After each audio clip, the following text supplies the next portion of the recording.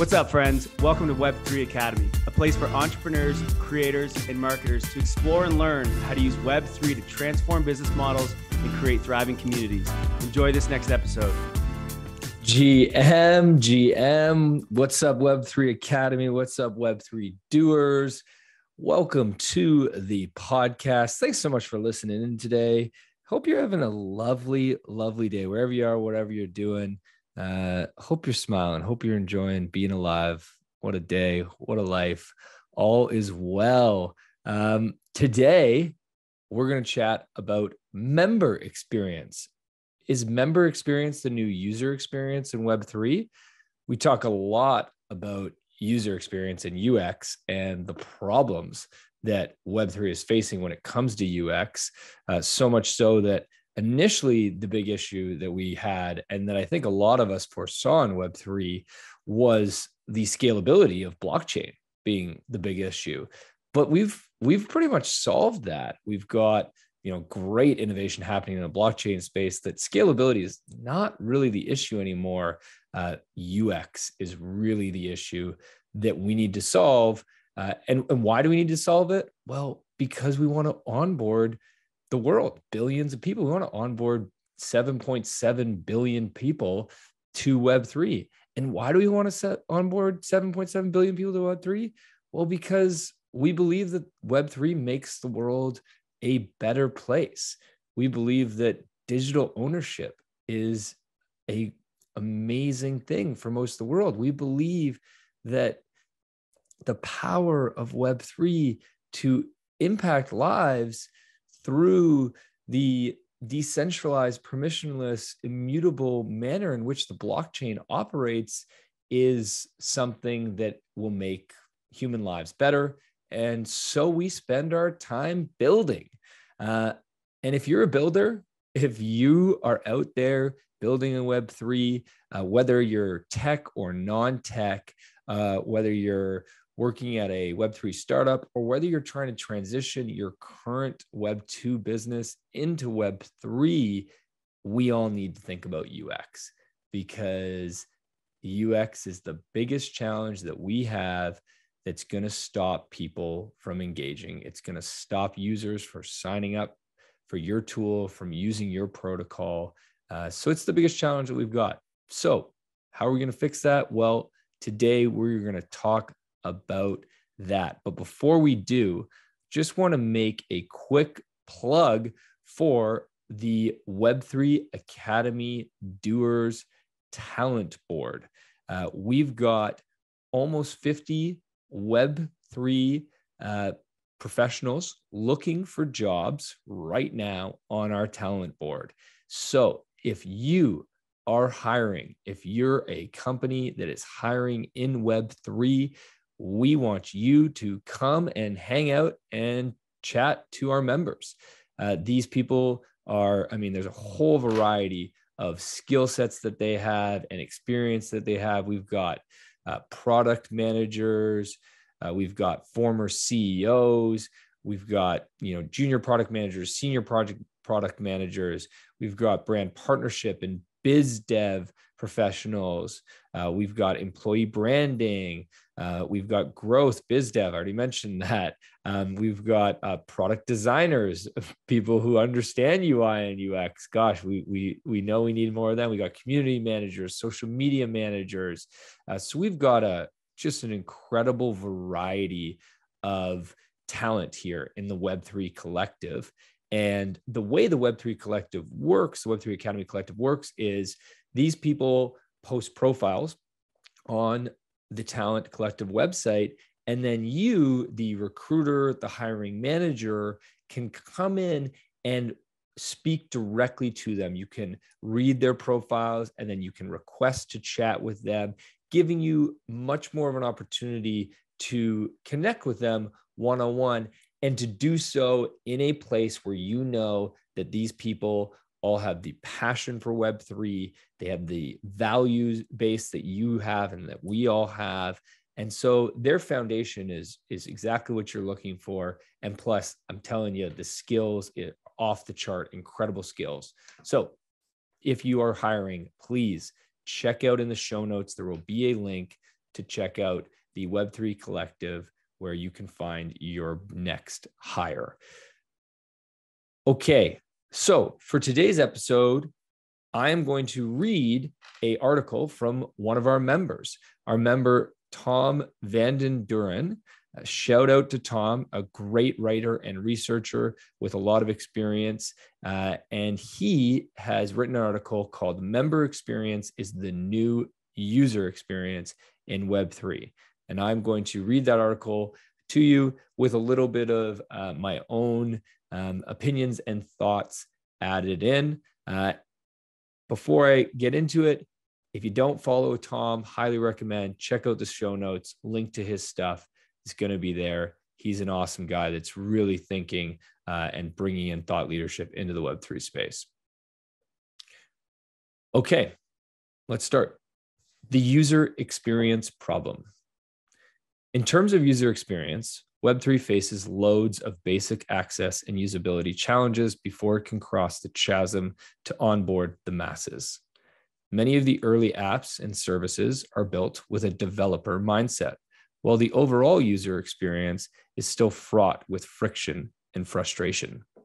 Without wanting to state the obvious, Web3 design needs to put the user at the center to deliver useful, usable, and enjoyable user experiences. Web3 starts from a high bar with an addressable user base that is well versed in tech and familiar, familiarized to the rich interfaces and convenience of Web 2 apps and services. As user expectations for digital services have steadily grown, people will get easily frustrated by confusing Web3 journeys and slow speeds. The good news is that UX has become a core priority within the Web3 ecosystem, with many experienced and skilled Web2 designers taking the plunge to fix the basics. At least this means there will be less tendency to reinvent the wheel, but rather stick with familiar and tested design and UI paradigms. So let's talk what, what are those design fundamentals that improve UX? The list of design priorities to tackle is not a small one. However, none of the below challenges are super complex and can be resolved with sound application of design fundamentals. So, what are these design fundamentals? First, useful. Second, accessible. Third, usable. Fourth, trustworthy. Fifth, enjoyable. And sixth, valuable. Now you might be wondering, okay, well, what is what do those things mean in terms of design? So let's just talk about each one of them. First, useful. Useful is what's in it for me. You need to ensure that users get what value your Web3 app, service, or community will add to their lives. You need to emphasize benefits over features. Accessible. You need ease of access and onboarding. You need to remove barriers to entry. For example, don't force wallet access. I think that's a big question right now is, you know, should you force wallet access? At what point in the user journey do you force wallet access? A lot of users do not have wallets. Only about 80 million Ethereum wallets are currently in, in use. It's only 80 million people. So if you force wallet access, you're eliminating the potential of anybody else using your product, your service, your app. Thankfully, there's many tools being built uh, that don't force wallet access that allow you to sign up with email, which is what a lot of people are doing right now, using Web 2 in order to onboard people to Web 3. And there's nothing wrong with that. Nothing wrong with using email as a way to sign up, as to bring people into your audience and then train them on how to have a wallet, how to use a wallet before forcing the access. You need to create a welcoming and engaging onboarding experience, and you need to provide how-to tutorials. I think this is so key is because this is something new, people have fear. People do not like change. We do not like new. Most of us do not like new. So when we show up somewhere new, whether it be the physical world or the digital world, we want to be slowly walked and guided step by step into that new product, that new app, that new community. And it is our job as leaders in the Web3 space to provide that onboarding experience. And the best way to do that is how to tutorials on products like Scribe, or video tutorials that walk somebody through step by step what to do. Usable.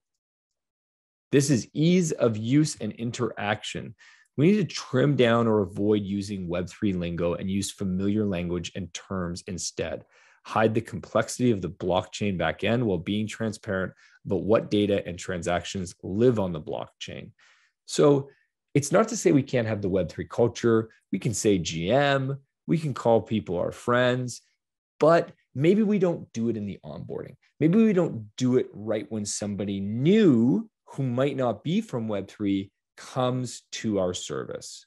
We need to think about the member experience, the journey that they take, and where are they in their journey, and re- meet them there. We need to relate and meet to our members at that point. Trustworthy, clarity and fairness of terms and permissions. Take down the FUD, FUD, fear, uncertainty, and doubt, and build trust through full transparency. Data provenance, transactions, smart contracts, user permissions, treat data ownership and portability as a first class citizen. Thankfully, this is in the ethos of Web3, but I think we need to train our members and our users about why we believe blockchain is more trustworthy because they don't understand blockchain. They don't know that blockchain is more trustworthy. So we need to train them, we need to educate them on that enjoyable, elegance, and richness of user interface. Apply the rich UI design principles Web 2 users have grown to be accustomed to. Provide and ask for the right amount of information at the right time. I think this is, is so key. And this is the big challenge that you have when you're building new digital products is taking the time to build great UI and great design is not always possible. But I think that this is, and we all know this is so vital in order to onboard the masses to Web3. And we're already seeing great improvements with UI. I, I, feel like every new product, every new tool that comes out, every new wallet that comes out, there's better UI, there's better experience. Finally, we need to make it valuable. Effectiveness in delivering user value. We need to optimize for value creation, capture, and distribution, recognize and reward user contributions, eliminate gas fees. This is a big one. And we were just chatting with Lens Protocol the other day, which is building the social graph for the new Web3 social media layer. And they currently are covering the gas fees, as are a lot of the apps building on top of Lens Protocol. Now it's up to the app, and you need to decide if you're building in Web3, should you be covering the gas fees? You know, if you're building an NFT project and you're targeting NFT collectors who are already buying lots of NFTs, that's not a big deal. They're not so concerned about the gas fees. But if you're trying to onboard somebody new, then gas fees is a big deal. That can be the difference between them buying and then not buying. So you really should think about absorbing the gas fees in the beginning at least until scaling solutions have brought down the cost to be to much more manageable levels, which is coming very quickly right now. None of the above, above fundamentals are, spe- are Web3 specific, maybe with the exception of a higher emphasis on designing for trust and transparently aligning to the core Web3 ethos principles. Uh, principles and implications of decentralization, trustlessness, immutability, uncensorability, and ownership. However, as success for many of the Web3 applications will rely on building and engaging a thriving community, I would argue that designing with the member in mind will elevate Web3 design into its own field of expertise and excellence. And this is the point that Tom is making that I just love. He is saying that we are going to see a transformation of the user experience field. User experience is not a new area. Uh, you know, people have been designing for user experience for ever since we were making products, ever since Ford made, Henry Ford made the first uh, car. Everyone's been thinking about user experience. But with Web3, Tom is saying that we are transforming and transitioning into an opportunity to start to think about member experience. Okay, so what does that mean? What is member experience? Optimizing for member experience refocuses the design challenge on creating a shared digital space for people to do things together. Relational design aims to optimize for peer to peer connections and community co creation, facilitating re- relational processes that collectively build and distribute agency. I just want to highlight two things there. Member experience is all about peer to peer connection and community co creation incredibly powerful things that are difficult to create. Not everybody can create a community or a product where there's peer to peer connection and community co creation. But if you can, the results are 100 times what you could create on your own. They move the needle way faster when you can create community co creation and peer to peer connection. It filters all UX elements, usefulness, accessibility, usability through a community lens and rewires traditional single user incentives and two way relationships into many to many value creation dynamics. It starts with understanding members' motives and mapping their experience and touch points on a member journey map. We've all heard about user experience maps, customer journey maps. Well, this is a member journey map. Members' motives for joining communities are often driven both by a sense of self interest and a desire for connecting with like minded individuals. Most vibrant communities will be those that optimize on both axes, allowing members to self identify and indulge in a range of member only benefits and perks while creating a space for like minded fans to socialize and co create. When designing for member experience and creating the member journey map, it's important to consider both the me and the we perspective of any member interacting with your community. A member journey map is a visual representation of every experience members will have with a particular Web3 community. It helps to tell the story of a member's experience with a community from initial onboarding through to long term commitment. I love this concept of a member journey map. I think it is so powerful to consider how you can take your members through a journey to becoming a community member, not to becoming often customer journey maps. The objective, you're taking them through to becoming a customer, right? You everything is it's a funnel, you know, step by step until you convert to purchase, right? Member, it's a different model. You're trying to convert them into a member, which is remember, what does a member mean? We go back, it means peer to peer connection and it means community co creation. How do you take a member on a journey to get them there? Let's talk about that. The three stage funnel. You can think of a community membership journey as a three stage funnel that takes a potential member from the community discovery stage to sustained positive sum participation. In building this funnel, Web3 designers and community builders should aim to optimize for the following.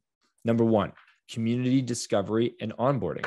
Number two, member activation and contributions. Number three, community ownership and governance. So let's just talk about each one of those three for a second. Number one was community discovery and onboarding. So this is top of funnel awareness to attract potential community members and contributors.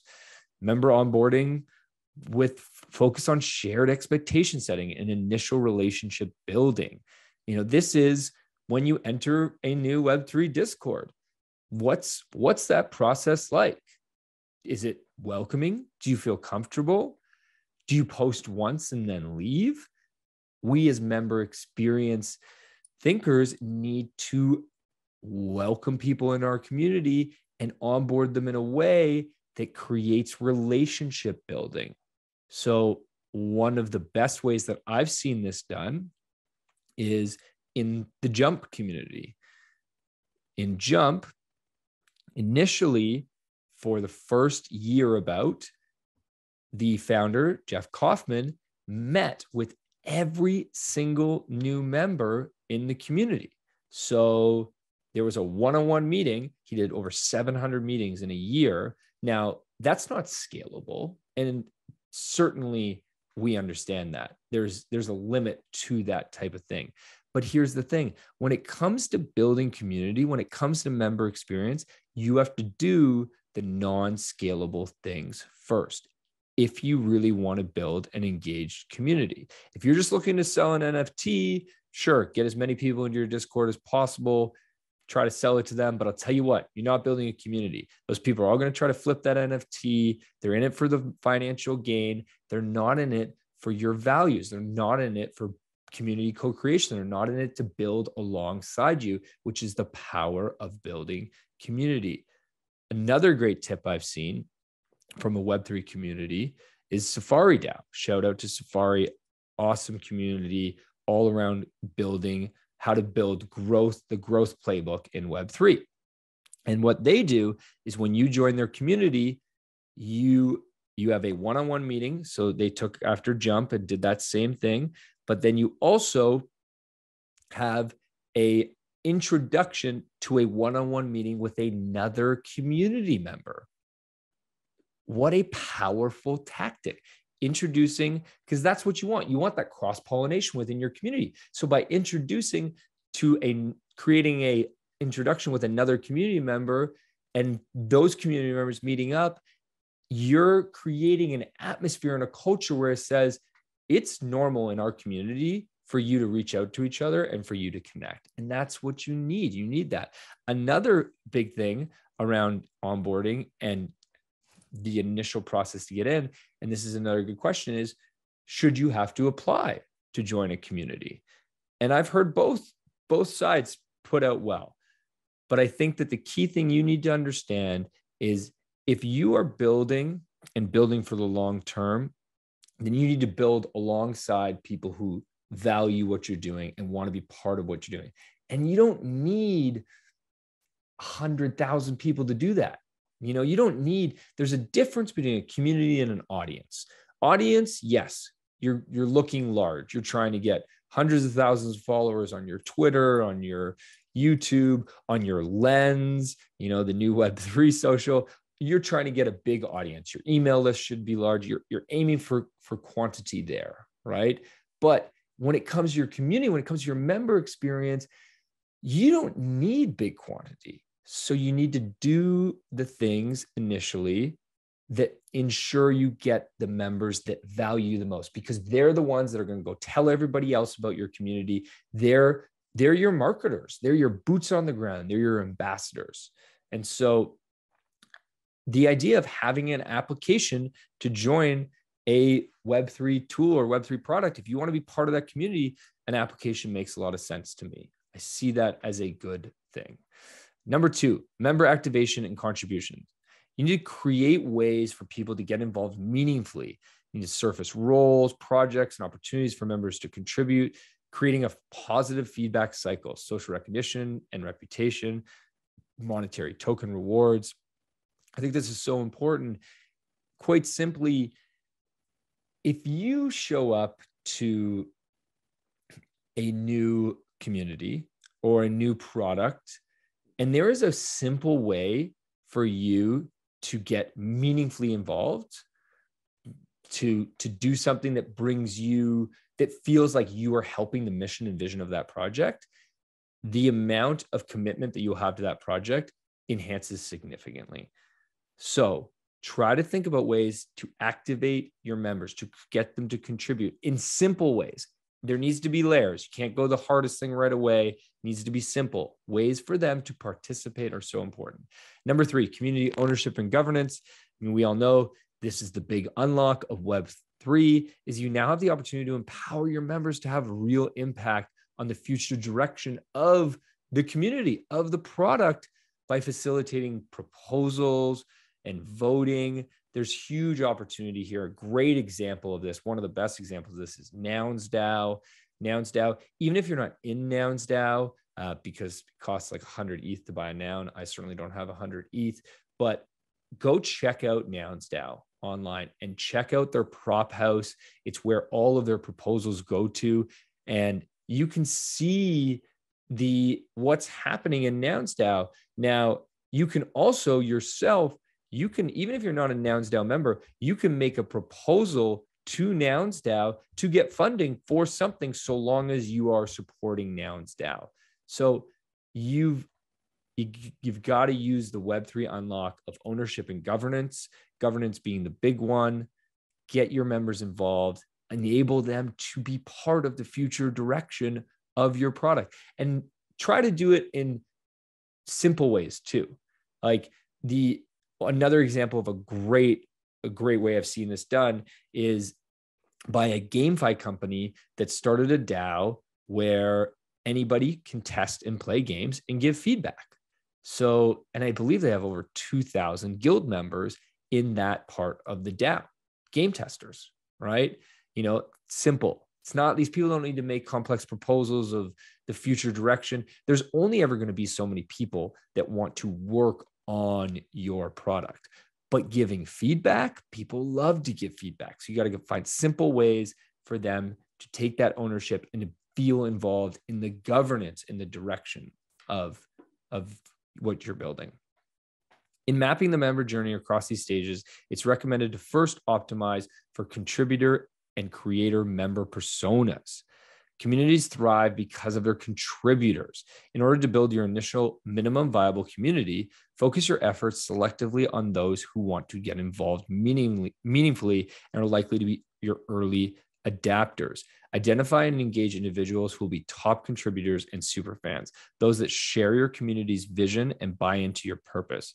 By attracting primarily intrinsically motivated community members aligned to the community's ethos and mission, as opposed to purely extrinsically motivated participants driven by external incentives, financial gain or short term self gain, you will be able to use this core team to build and validate your minimum viable community and gradually go grow your community by weaving from the inside out.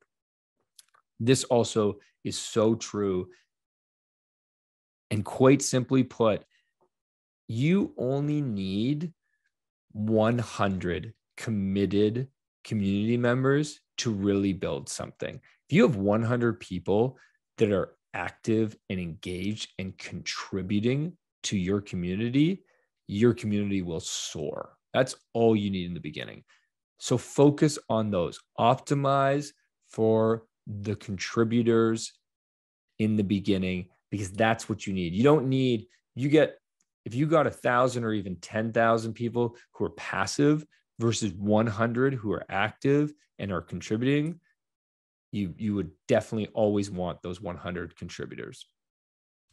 Think of this like an ambassador program where your early adapters will become a de facto community leaders by modeling the behavior you want in the community. People only contribute to communities if they trust that their time and energy are going to be put to good use. Trust starts with mutuality and builds with agency. Mutuality means members will need to trust that the intentions behind the community are earnest and that other members in the community share the same values as they do. Agency and positive feedback cycles will build trust that member contributions are going to be put to good use and that the community is capable of making progress on and achieving its goals. Unique community members. In designing for member experience, it's also important to not treat all members equally. Beyond the core team and active contributors, there is likely to be a majority of more passive members as well. I think this is a great point that Tom is making here. You've got core team, you've got active contributors, and then you've got passive members. So think about when you're designing your member experience map, journey map, you think about those three differently because they are three distinct groups. Even if the role is lighter and less persistent, it's important to think about minimum requirements or expectations any community member would need to live up to in order to ensure good cohesion and vibrancy. Different levels of participation and commitment require different member engagement, feedback, and reward me- mechanisms. That means MX, member experience design, will ultimately result in a layered experience with a mix of one to one personalized engagement, collective, open to all community interaction, and a range of more topical channels, discussion forums, and project groups. And with some of these spaces only accessible to select members, gating access based on member profiles, roles, reputation, and or wallets. One thing that I want to say here is I believe that if in the beginning you focus on your contributors, as Tom mentioned. And if in the beginning you don't focus on scale, but focus on quality, then what that will lead to is it will lead to a completely open community in the beginning.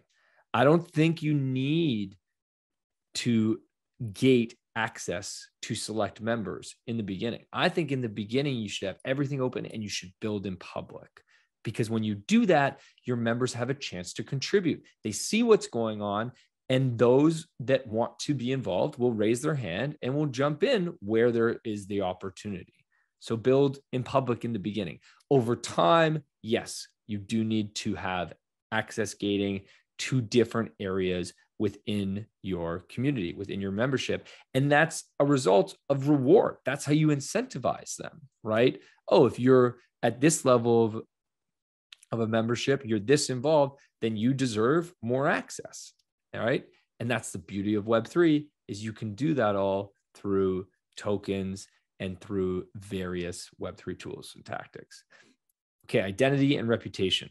Member identity and reputation will need to be architected with this multi layered experience in mind. Identity is how we view ourselves, reputation is how we view other, how others view us. Most Web3 apps and communities work with so, so pseudonymous, I always struggle with that word, pseudonymous identities, allowing members to identify themselves with a virtual and often community specific profile. Some communities rely on NFTs as a unique profile identifier, PFP. Some allow members to transfer their identity and PFP over from other communities. However, and more importantly, identity design should allow members to reflect relevant skills, verifiable credentials, affinities, and relationships to facilitate peer level member interactions and drive collective agency. All this without compromising member privacy and control over what data they share. I think this is huge.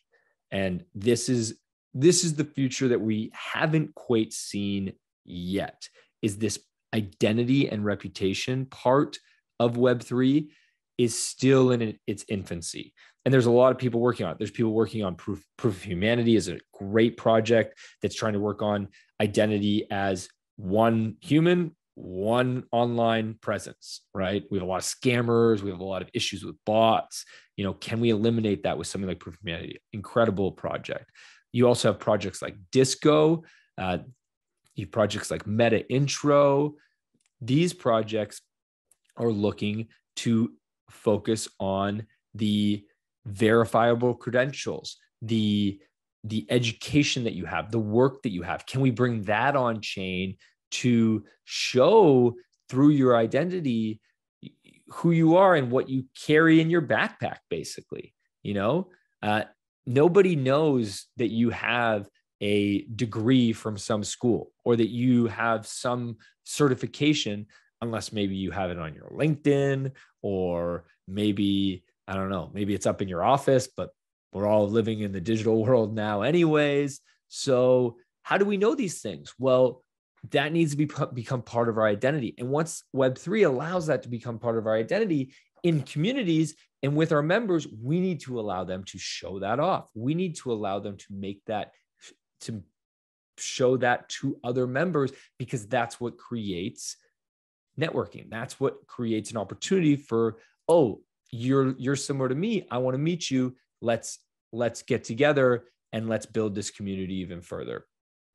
Beyond identity, designing an effective community reputation model will be critical. Reputation incentives and feedback loops are crucial to the growth, success, and sustainability of any Web3 project or community. Reputation systems enable communities to recognize and reward members' contributions, including content creation, moderation, community building, and specific project work. They provide the foundation for social signaling and proof of skin to enable and gamify a community specific status play. The earned reputation should be non transferable and non permanent, but can be linked to fungible and redeemable awards. You deserve badges, right? Like if you your reputation if you do something in a community if you do something for a product if you're part of giving feedback then you should get a badge for that right it, poap is the best example of this although poap is proof of attendance but it's the same idea you can think about it like okay i'm in a community and I was at a basketball game last year. And at that basketball game, you know, because I was at that basketball game, I had that ticket and I saw the Toronto Raptors play.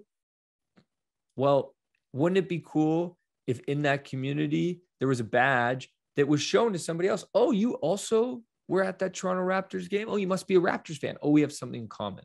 Oh, I I've attended Burning Man a few times. Burning Man is a pretty niche festival, arts festival. It happens in Nevada every year. And wow, wouldn't it be amazing if in a community I could see somebody else who also attended Burning Man? What a connection that would make, right? Those are the types of things that proof of POAP, proof of attendance protocol, is going to allow because you're going to get badges for attending events, for attending things. Well, we need to extend that beyond POAP. We need to extend that to many of the things that we do that we can take on chain and share with our community members and build a reputation as a result of that, which then encourages peer to peer connection and leads to co creation, building together as a community. Community management, big topic here. Delivering a layered experience based on a member's identity and reputation implies that the role of community managers will become more important than ever. They will be the driver of community engagement, moderation, and activation, while at the same time being a role model reflecting and embodying the community's norms, values, and desired behavioral traits. In addition to facilitating member to member relationship building and interaction, community managers need to proactively activate the member and community feedback loop to create a sense of collective governance and co ownership. All this means that backend community management tools will be equally crucial to member facing features in optimizing for the overall member experience. Obviously, member profiling, access and permission management, reputation and reward systems will all need to be catered for. I cannot wait for the community management tools that are going to come into Web3. Now, if you are building a community management tool, please reach out to me. I want to talk to you. I want to learn about what you're building and I want to help you because this is a huge space that we need a lot of help in. Uh, no offense to Discord. Thank you, Discord, for bringing us all together and giving us all a place to hang out in Web3. But man, the MX in Discord is not the greatest. It was not built for these communities that we are now building, is not built for great MX. So we need something better. Tools for member onboarding and relationship management, as well as all member notifications and subgroup communications, will be essential to activate and sustain the community flywheel. And content moderation tools will help curate and filter valuable member contributions. I can't wait for somebody to create a content. If anybody knows of a bot that you can use in Discord to schedule Discord messages, that would be awesome. I would really enjoy that. Please DM that to me. Thank you.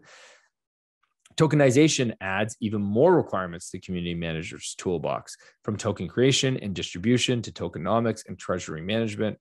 Finally, KPIs and analytics will need to be will need to provide crucial insights into a community's overall health, effectiveness, and vibrancy.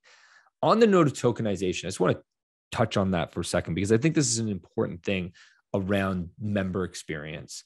Uh, when you consider when token for your community, I think that what's important is that you do not need to start with a token. I think a lot of communities, you know, the great line that I heard is, you know, token communities build tokens, tokens don't build communities right? So you need to build your community first before adding a token.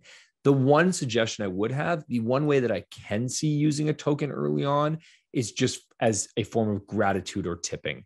You're basically gamifying emojis in your community. Wouldn't that be fun? Isn't that cool? You know, everybody loves emojis in communities. Everybody's firing them all, all the time, sharing emojis on each other's posts. Well, imagine if every time there was an emoji on your post, you got one token from that community. Now, that token doesn't have any liquidity, it has no financial value. It's just for fun. But man, doesn't that make it fun? You get you get some form of recognition, your reputation. Talked about reputation before. You get reputation. People can start to see. Basically, this is what Reddit has already done, right?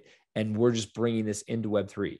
Now, eventually, you might decide to do more with that token. You might give it utility, you might give it liquidity. But in the beginning, I do not think that should be the focus when you are creating community or building your member experience. In the beginning, your experience should be focused on fun and engagement, unless, unless, unless you are building something that you are requiring builders to come in and build your product. If they're building your product, then you should be compensating them for that, in which case, tokenomics and a token with liquidity and with financial value makes sense because these people need to have compensation in return for their work, right? So if you're doing that, then tokenomics makes sense.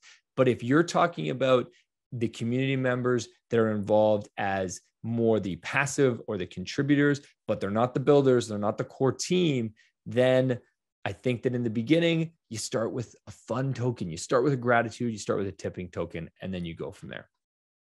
In managing a community and optimizing for individual and collective member experience, predictability and repeatability will be key. Love this quote. Listen to this quote Repeatability creates rhythm, rhythm creates traction, traction leads to flywheels, flywheels lead to growth.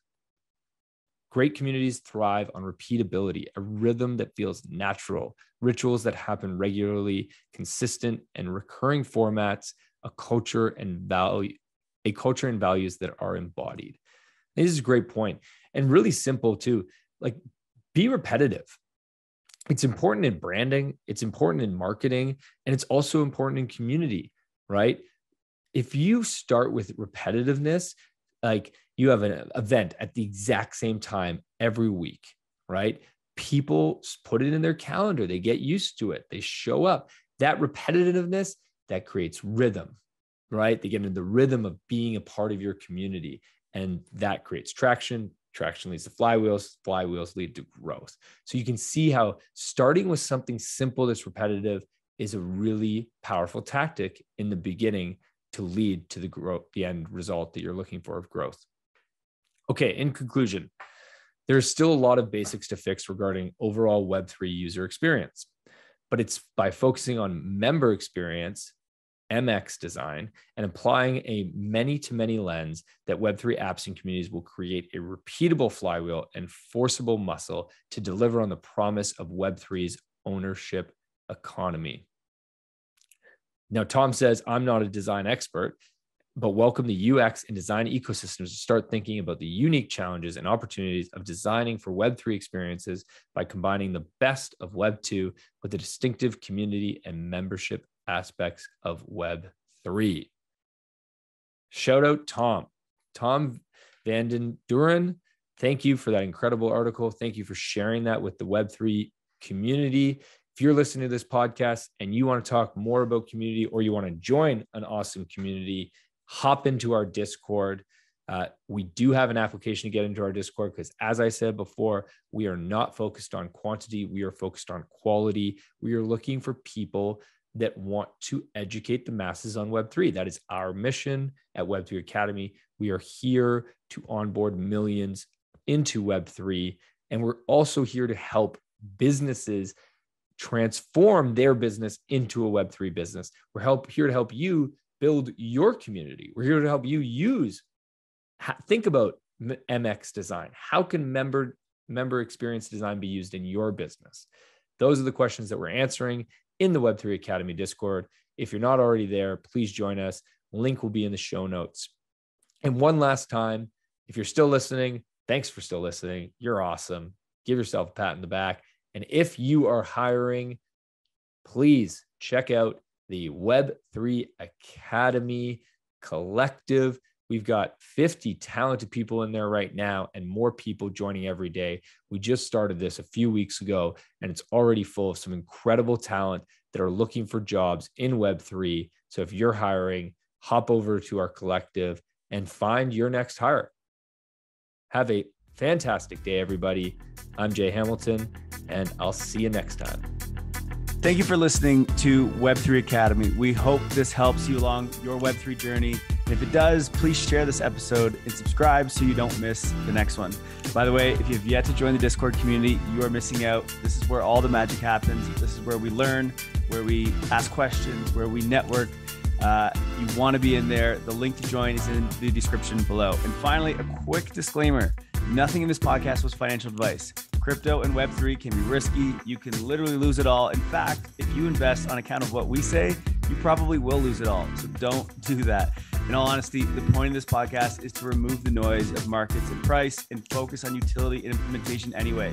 So you should not take any of this as financial advice. Thank you, friends, and see you in the next one.